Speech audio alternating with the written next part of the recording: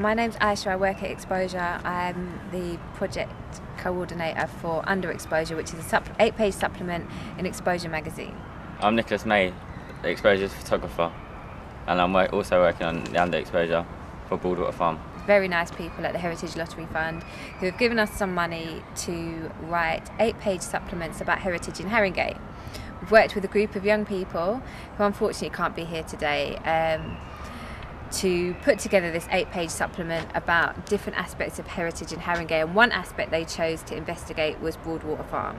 And so we've come down here now, we're in the final stages of development of the product and um, Nick's taking some more pictures so we can go back into the office and design it, put it together so it's ready for print. I'm basically taking some more pictures for John for the Under Exposure. John is the exposure designer of the magazine, so he designs everything that I take the pictures of and everyone writes. He puts it all together for the magazine, and then basically that's that's it.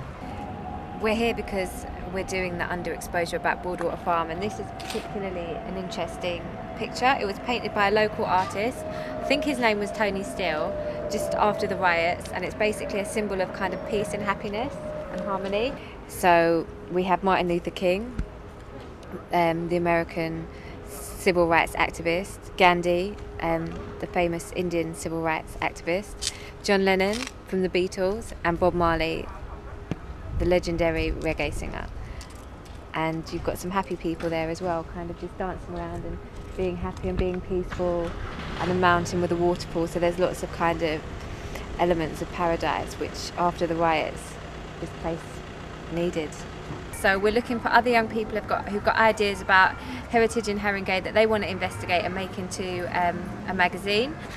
So if you want to get involved, you can call Exposure on 0208 883 0260 or visit our website www.exposure.org.uk.